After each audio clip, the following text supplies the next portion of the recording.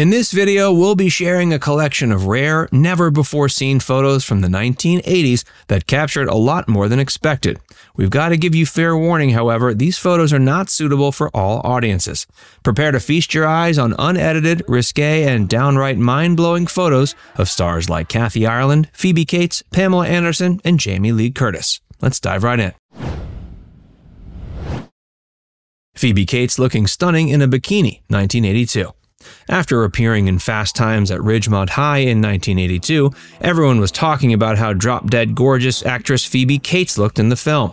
Not only that, but audiences seemed to be obsessed with one memorable scene in particular. You probably know the one. Even though she was a young actress, she had already appeared nude on camera before, so by the time she was cast in Fast Times, she felt pretty comfortable going in front of the camera without clothes on. Months before the movie hit theaters, Cates' debut film Paradise premiered.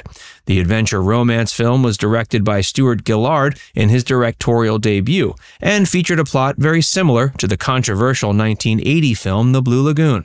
Just as how a very young Brooke Shields had appeared in the nude in the Blue Lagoon, Cates also got naked for the filming of Paradise. Shockingly, she was only 17 years old when that movie was made. It goes without saying, but that would be unthinkable in Hollywood today. Kathy Ireland stepping up to bat, 1987. In the 80s, Ireland's image was plastered on the walls of millions of teenage boys' bedrooms across America. She started modeling when she was 16 after being scouted by Elite Model Management. She went on to appear on the covers of magazines like Forbes, Cosmo, Vogue, and Mademoiselle. Kathy's famous Sports Illustrated cover from 1989, however, is considered to be one of the greatest swimsuit edition covers of all time. Cameron Diaz as a high school cheerleader. Years before Cameron was cast as one of Charlie's Angels in the early 2000s, the fresh faced future actress was a cheerleader attending Long Beach Polytechnic High School. Fun fact the school had the honor of hosting hip hop legend Snoop Dogg. Instead of going to college, Diaz signed a contract with a modeling agency called Elite Model Management when she was 16. She ended up modeling for brands like Levi's, Coca Cola, and Calvin Klein. But after she appeared in the 1994 Jim Carrey film The Mask, she was transformed into a bona fide film star.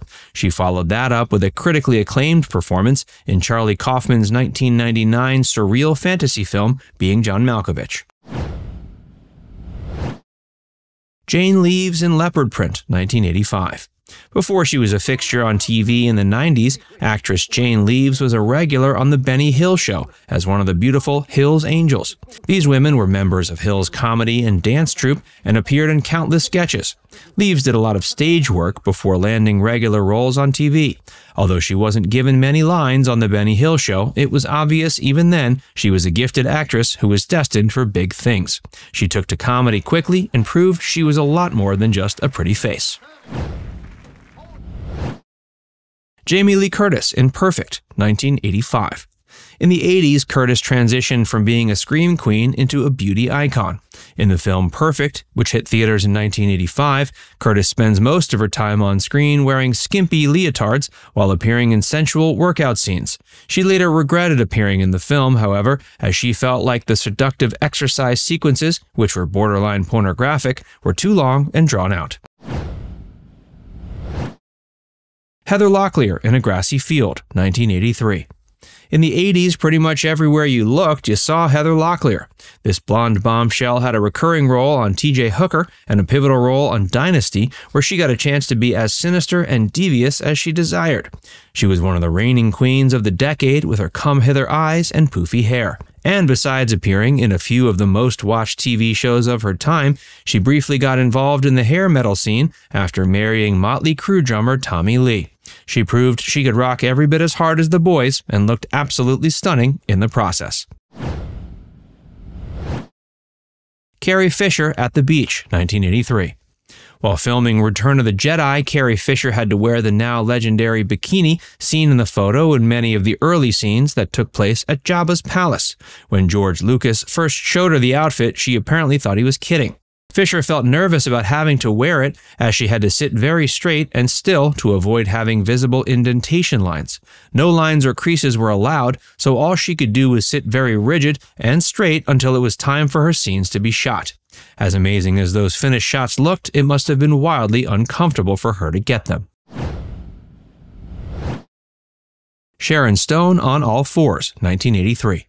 In the early half of the decade, another eventually ubiquitous 80s queen, Sharon Stone, was doing just about everything she could to land her big breakthrough role in the film industry.